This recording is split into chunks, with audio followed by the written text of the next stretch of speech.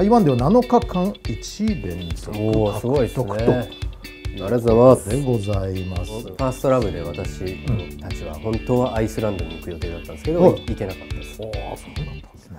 本当はあのラストシーンは完全に海外にもう全員行く気満々で、ん。楽しみだねって話してたんですけど、うん。行けず結局北海道の紋別というところでうん。撮りました。けど、もう海外の景色んすごい。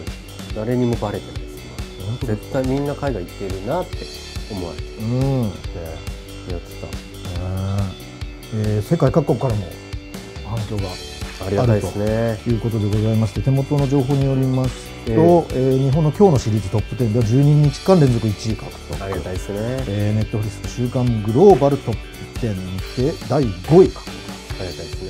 えー世界11の国地域で今日のシリーズトップ10入りし台湾では7日間1連続おおすごいですね。獲あ得りがとうございます。でございます。という流れになりますもんね。工作していくよね。あでまたね若い頃の2人がね抜群に素晴らしいんですよ。うん。本当に。これはマジで。うん。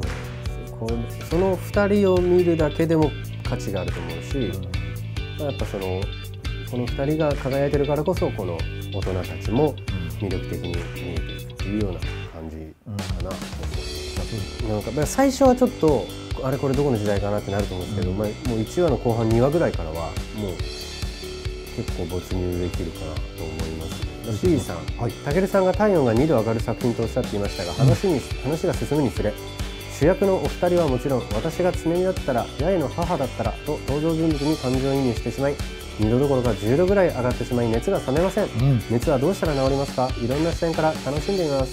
うん。おお心配。24日から毎日9話一気見してます。現在13週目。最後の作品ありがとうございます。心配。全然寝てないじゃん。ね、だからなかなか修学旅行に行けないっていうのもね。かわいかわいそうというかねうん。なんか胸が痛い、まあ、それでいうとあのファーストラブで私たちは本当はアイスランドに行く予定だったんですけど、はい。行けなかったです。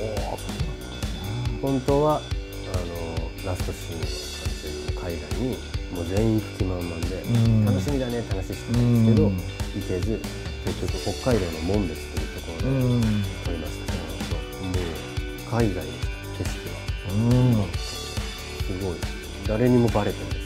本当絶対みんな海外行ってるなって思われる。うん。